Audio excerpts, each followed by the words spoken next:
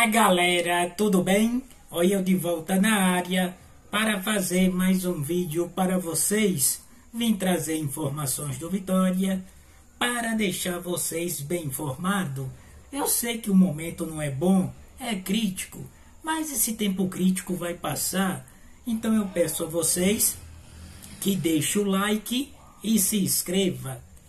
Teve três jogadores especulados no Vitória mas é apenas especulação. Esse rapaz aí que tem uma página de 20 mil seguidores no Instagram confirmou com os empresários dos jogadores. Léo Jabá, do São Bernardo, que marcou o gol pelo São Bernardo, está sendo especulado no Vitória. Foi percurado pelos dirigentes do Vitória. O zagueiro Romesso que passou pelo Curitiba, zagueiro de 24 anos, também foi percurado pelos dirigentes do Vitória. E um meia é Luciano Maninho. Ele é meia do Volta Redonda. Também tem interesse do Vitória.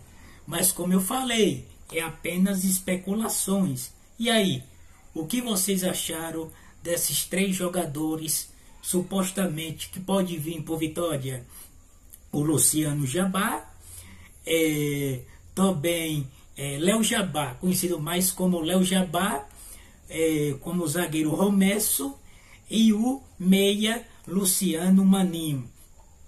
Então, galera, o Vitória tem que contratar jogadores que estão jogando no interior de São Paulo, jogador que estão jogando no interior é, do Rio de Janeiro, Volta Redonda, São Bernardo, o próprio Ituano, sempre revelam grandes jogadores. Mas, para mim, quantos jogadores o Vitória precisa? Na minha opinião, eu acho que o Vitória precisa de mais dois zagueiros, três laterais, total são cinco, mais um volante, talvez, mais um meia 6, 7 e quem sabe mais um atacante, 8 e um atacante pelas beiradas, 9. E para vocês, quantos jogadores o Vitória ainda precisa para ter um time competitivo para a Série B?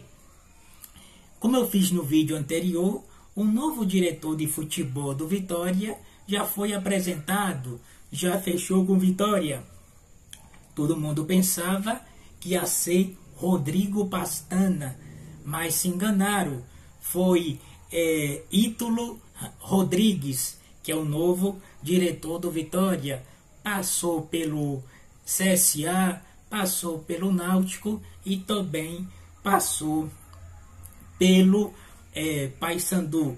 O que vocês acharam também do novo diretor de futebol do Vitória? Cara, eu achava um diretor, mas eu, eu achava que o Vitória ia contratar um diretor de futebol mais conhecido. Eu achava no, que Rodrigo Pastana ia retornar ao Vitória, mas Rodrigo Pastana não retornou. Também teve outro, Pacheco, foi especulado no Vitória. Espero que vocês gostaram, tenham gostado da notícia. Deixe o like, se inscreva Tamo junto e até o próximo vídeo. Fui!